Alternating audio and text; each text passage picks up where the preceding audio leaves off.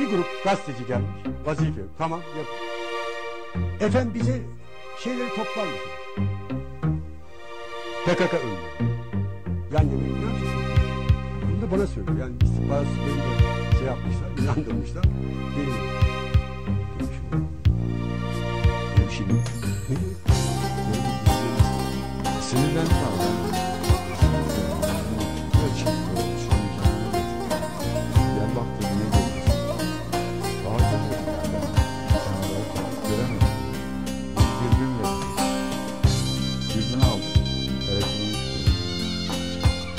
İşte teröristleri görebiliyorsunuz. Cesetleri.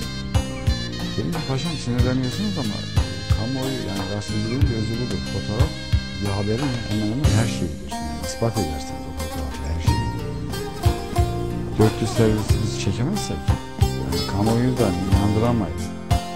Ben askerlere siz resim çekeceksiniz diye ölü ve leş toplatmam.